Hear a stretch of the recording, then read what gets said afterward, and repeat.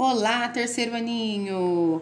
Vocês devem estar se perguntando, né? O que, que a professora Dani tá fazendo aí de novo? Pois é, a partir de agora nós faremos duas videoaulas. Uma para que eu possa passar as atividades para vocês, explicando certinho, para que vocês possam fazer em casa sozinhos.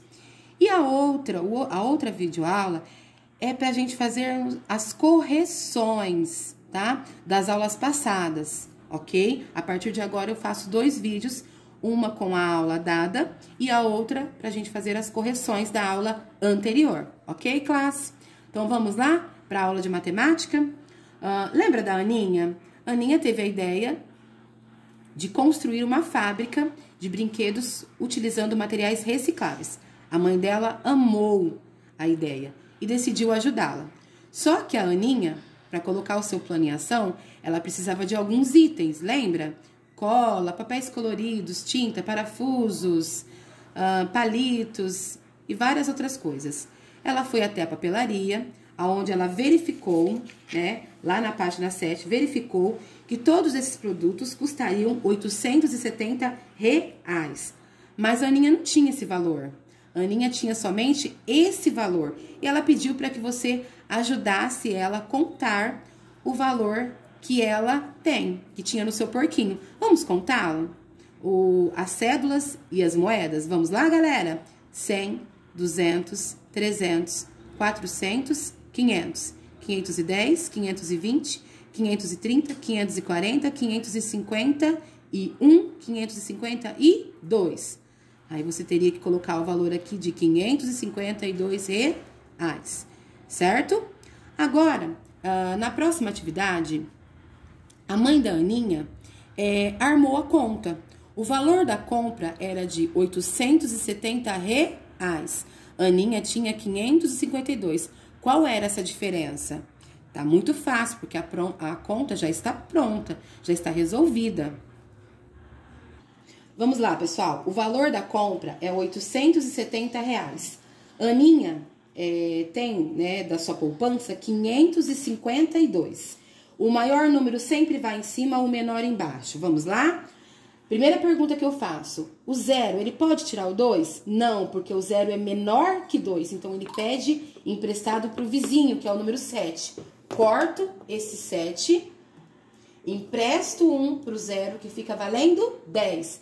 Esse 7, ele tinha 7, ele emprestou 1, ele fica valendo 6. Vamos lá? 2 para chegar no 10. 2 na cabeça, galera. 2, 3, 4, 5, 6, 7, 8, 9, 10. Quanto? 8.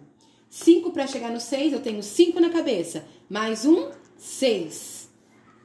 5 para chegar no 8, 5. 6, 7, 8, 3. Então, a Aninha vai precisar de 318 reais.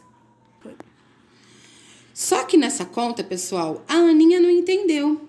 Ela perguntou, ela questionou, né, para sua mãe, é, por que foi necessário riscar, no caso, riscar o 7, ele teve que ser, né, ele teve que emprestar para o zero. Vocês sabem, porque na conta de subtração, o menor, se o número de cima for menor que o de baixo, ele deve pedir emprestado. Então, o que, que o problema pedia para vocês? Ele, ele pediu para que vocês respondessem a pergunta da Aninha: o porquê isso aconteceu? E vocês já sabem, ok? Então era para responder com suas palavras esse questionamento.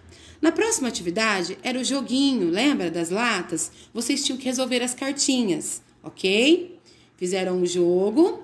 Aí na página 11, nós temos aqui três cartinhas. Vocês teriam que escolher uma cartinha, né? E resolvê-la aqui e depois explicar, fazer as, as devidas explicações de acordo com a sua conta. Foi. Pessoal, vamos para o primeiro probleminha? Para quem escolheu o primeiro probleminha, nós tínhamos ali uma perfumaria. É, foram comprados 100, tá aqui, ó, 100 perfumes. É, só que já foram vendidos pela essa perfumaria 37. Então, é, quantos sobraram? Aí tem aí a palavra-chave. Quantos sobraram? Quer dizer que teve uma perca. Desses 100, perderam quanto? Vem, foram vendidos quantos? 37. Tá aqui, 37. Então, eu vou armar a conta de subtração. Vamos lá. 0 tira 7? Não. Tem que pedir emprestado o vizinho. Quem é o vizinho? Zero.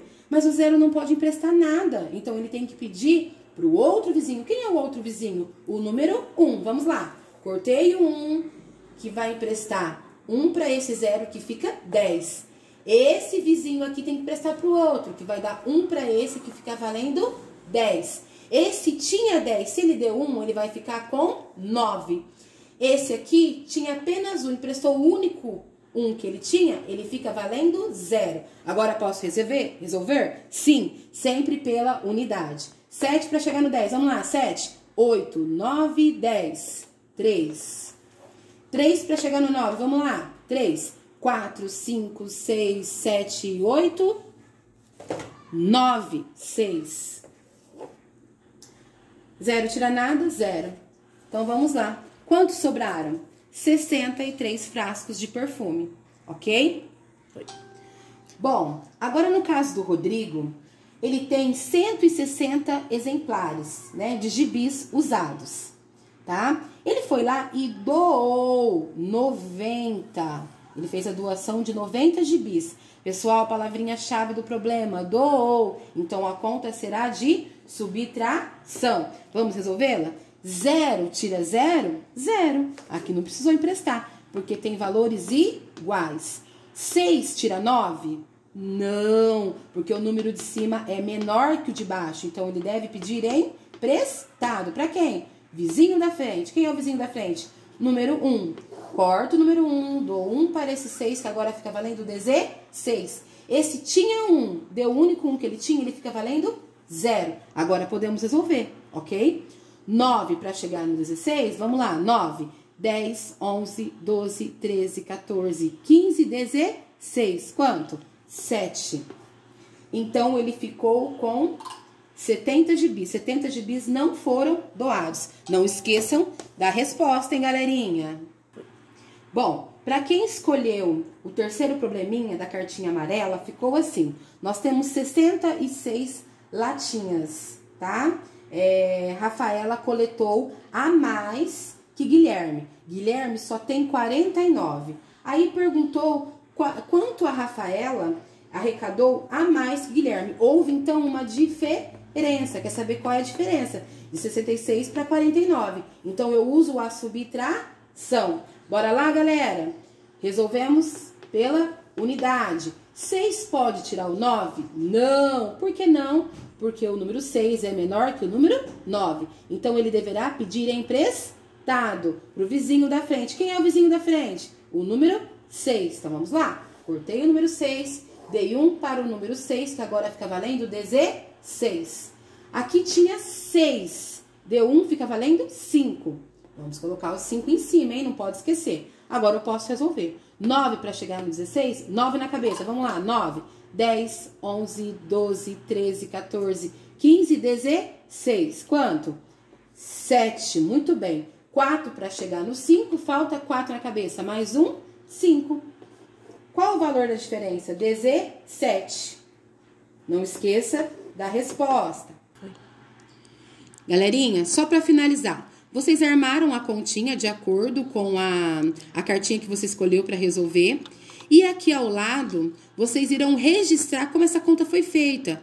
Se teve que emprestar, como vocês resolveram essa conta, se usou a subtração, ok? Com suas palavras. Beijos e até a próxima, galera. Tchau!